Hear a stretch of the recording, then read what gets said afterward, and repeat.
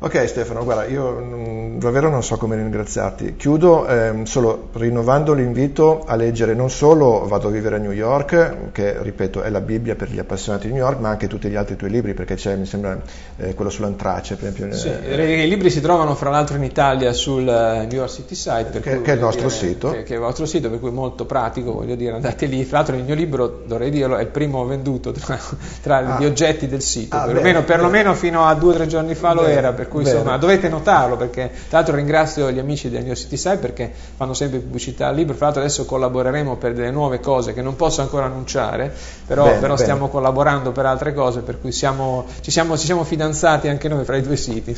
Okay, allora intanto eh, visto che, che, hai questi rapporti con il New City Site eh, devi sapere che noi il 7 luglio facciamo un aperitivo alla sede del New City Site qui a New York e poi andiamo a farci una pizzata, se, ovviamente sei invitato, se, se, hai tempo e voglia, eh, naturalmente sei, sei invitatissimo.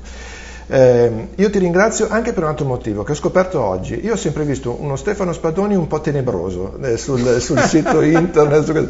Oggi ho scoperto un altro Stefano, credimi, un altro Stefano Spadoni molto più aperto, forse anche quella, così col passare del tempo in questa, in questa, chiacchierata che abbiamo fatto ho visto veramente un altro Stefano Spadoni, mi ha veramente fatto piacere. Sai, durante anche il Big Apple Radio purtroppo ho avuto a che fare con la guerra in Iraq, eh. che fra l'altro sono molto felice perché tra l'altro voglio dire proprio ieri, voglio dire c'è stata la l'ufficializzazione che l'Iraq è un paese indipendente, non c'erano neanche più le, le, truppe americane nelle città, per cui in un certo senso è finita bene, avevo molti dubbi che finisse bene alla fine, ma comunque ho sempre diciamo, tenuto per la parte diciamo, degli iracheni e della loro liberazione, sì, perché l'ho sì. vissuta un po' come la liberazione dell'Italia, secondo me, con poi tutti i problemi che l'Italia ha avuto anche nel dopoguerra, perché l'Italia è andata vicino a una guerra civile, se non fosse stata con la famosa attentato a Togliatti, eccetera, molta gente, magari io ho studiato un pochettino di storia per, per il parallelo fra Italia, eh, Stati, e, e, fra Italia voglio dire, e Iraq, e effettivamente sono state due cose molto molto simili, diciamo, per cui diciamo, in, in Iraq quello che è mancato sono stati i partigiani, anche perché non c'è stato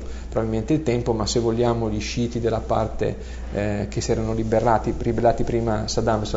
Voglio dire, in un certo senso sono molto contento che eh, l'Iraq sia un paese democratico, penso che noi tutti quanti dovremmo essere felici quando un nuovo paese democratico si aggiunge alla, a, a, di altri paesi, purtroppo penso che invece adesso il mondo andrà al contrario. e, e, e questo di una, questo ne parleremo alle prossime interviste. È una cosa molto brutta quella che sta avvenendo eh. comunque. Va bene Stefano, io ti, ti ringrazio veramente tantissimo e mm, sto leggendo anche un po' la, la chat dei, dei, nostri utenti, anche loro vedo che sono entusiasti di questa cosa, ti ringraziano anche loro ovviamente.